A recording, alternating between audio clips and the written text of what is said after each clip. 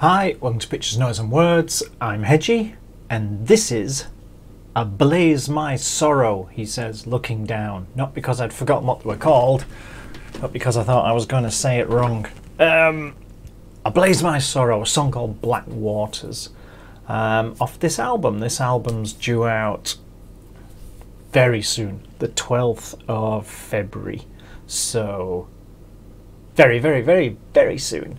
Um, yeah, I, I'm not sure, but this is on. I'm not sure how how I know about this band, but it's on Black Lion Records, and Black Lion Records have sent me a few emails, so I suspect that the record company literally told me about this themselves. Um, it's melodic death metal they're described as. I haven't heard this, so I'm just going to get straight on with it. Like I say, Ablaze My Sorrow album amongst ashes and monoliths. I know you can see it right there, but I can't really see it right there. So let's um, let's just get on with it, and then we can talk about it afterwards. He says, "Oh, I've got a problem with my screen. No change there then."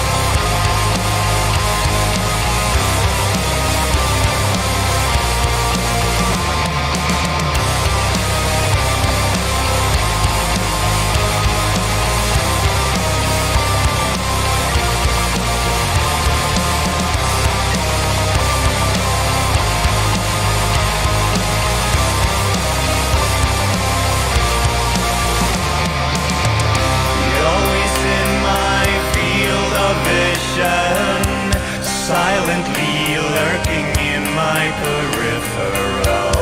A promise of relief.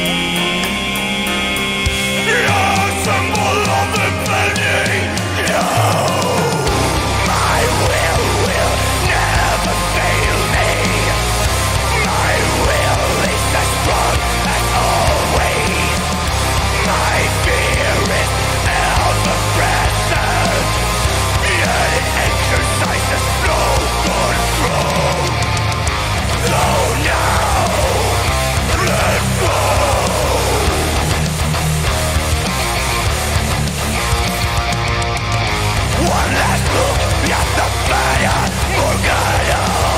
Then they turn my eyes towards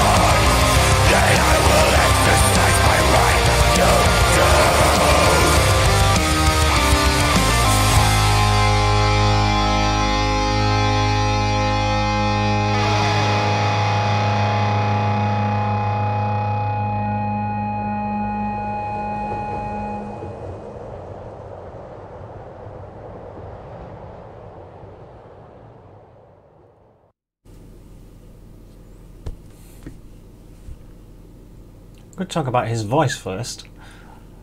When he was singing the cleans, he sounded like he had that kind of nasally quality that I associate with English folk singers who tend to have one finger stuck in one ear, going,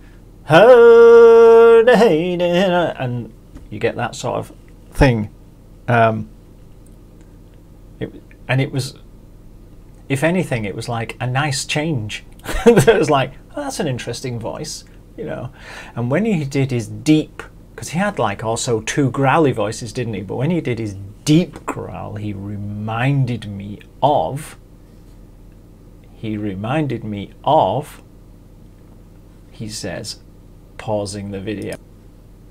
He says, unpausing the video. Dark Tranquillity. And that, when you're sat here and you're doing this, right?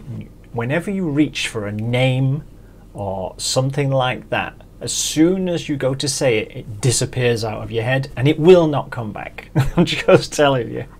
So uh, yeah, he had the he had the Dark Tranquillity voice when he was doing his deep growls, and then he had that sort of higher growl, mid-range growl kind of thing, which sounded a, a little uh, like it hurt to do. You know, it had the like, ah, kind of thing to it. So yeah, the vocals I found a little bit intriguing.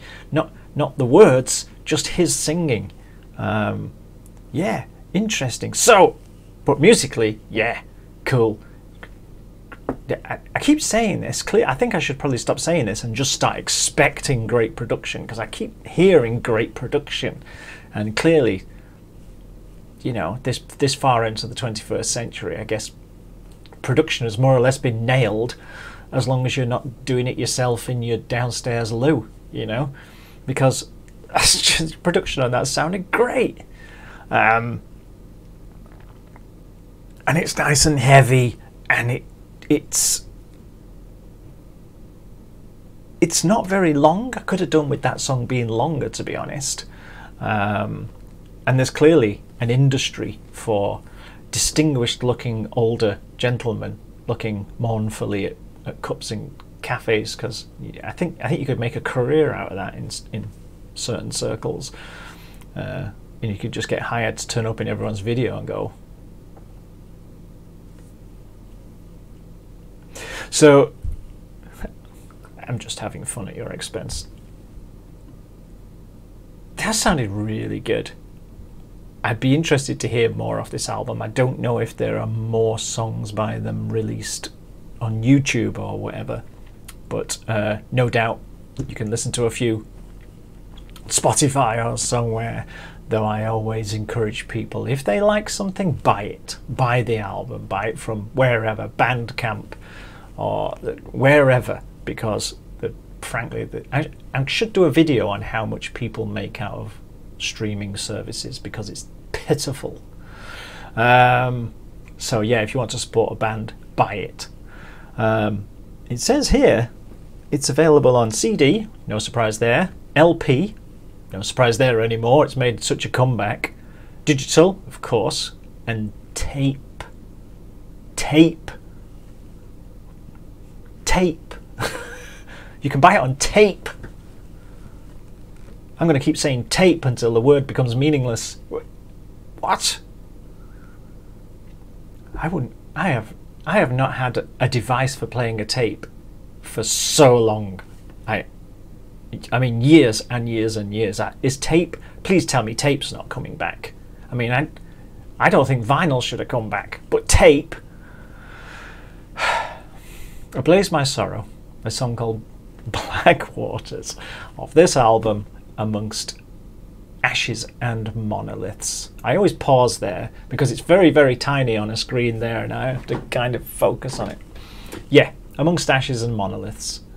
Out February the 12th, so literally it's out now ish.